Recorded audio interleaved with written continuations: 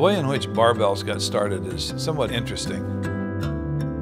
The very first Olympic Games, a barbell was used. In the early days, the only kind of barbell that you could get would have a thick handle barbell, and bells on the outside would be this big, but they'd be partly hollow.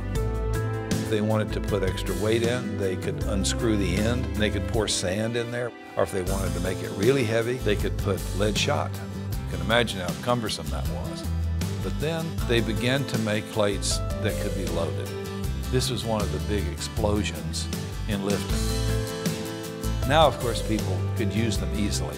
They were exactly what you would see if you walked into a CrossFit gym. You saw people training. The strongman activity, the reason it's so fascinating is because you can use different implements, different feats, not just testing strength, but doing it in a way that's interesting and exciting.